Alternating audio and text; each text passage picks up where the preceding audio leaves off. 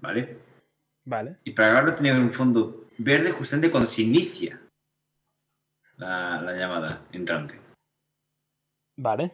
Ah, ¿y si, y si- y si- te llamo yo a ti con una cuenta fake? Vale. pero Vale, pues ya está, fin, jolín, tío. Más fácil. Eh,